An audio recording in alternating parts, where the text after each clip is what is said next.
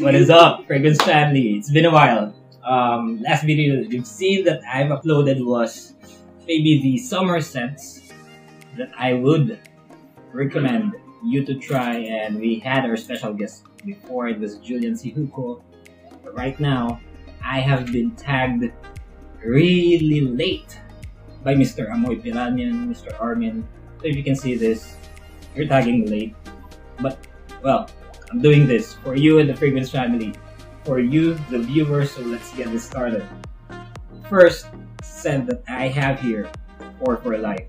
For the heat, high heat summer, we have here Invasion Barbare by Parfums MDCI. And as you can see, I only have a decant of this.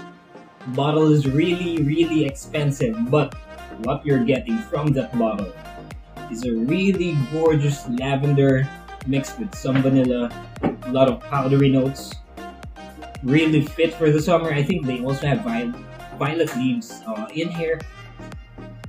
And I want to thank Mr. Mark Romero for providing me this. I think I had one of these decants. I think it was a 3 mil. And I've used it maybe, you know, just twice per year. That's how precious this one is. So if you get your hands on this, you'll be having the best, if not one of the best barbershop scents out there.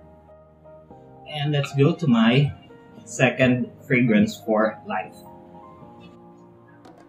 And for my second, as you can see, I do have a lot of backup bottles of Narciso Rodriguez EDT for him. One of the best, if not, in my perspective, the best fougere in the game right now even with the niche ones, indies, designers, cheapies, drugstores. This one ticks all the boxes for a fantastic fougere. Now what does this one smell like? It smells like patchouli, really wet, soily patchouli. We also have this uh, violet leaves, crisp violet leaves, wet violet leaves. Um, we also have this pure musks in here and at the base, we have the sweetness of the amber playing with all those elements. So, this has been my top two fragrance for life fougere. Let's go on to my third fragrance for life. So as you can see, this one is my third choice. This one is for the fall, and it's Gucci Envy. As you all know, OG, hard to find, really rare, high prices online, but this one is worth every penny. Why? Spicy, gingery. It's a very warm, incensey vanilla.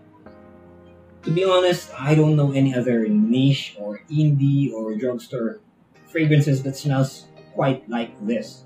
This gives you an aura of being, say, a boss, or of being a boss. Uh, this one is what I'd like to categorize as the alpha male fragrance. So this is my number three. Let's move on to my last choice. And for the last one, as you can see, it's Oud Satin Mood Extrait de Parfum. Even though we don't have winter here in the Philippines, but in the coldest of days, this is what I would wear. And here's the bottle. Now this one, as you can expect, very high quality, very jammy vanilla, very dreamy oud. The oud is just in the background. What is on the front is this sweet, almost fig prune prune type of vanilla. It's it is that sweet, lasts really long, performs really well, be it rainy days or the coldest of days. And that has been my top four for life. I don't know if this would change next year. Let's see. But for now, I'll be tagging Miss Arlene from Delicious Delights. I hope you can see this. I'm tagging you. This has been my top four for life. And as usual, these are just my recommendations, opinions, and suggestions. At the end of the day, you do you. Thank you. Cheers.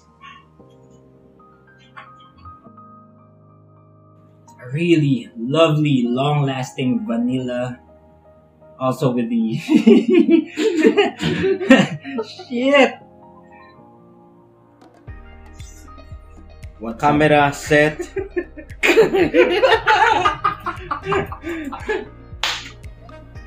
What's up, guys and girls? yes.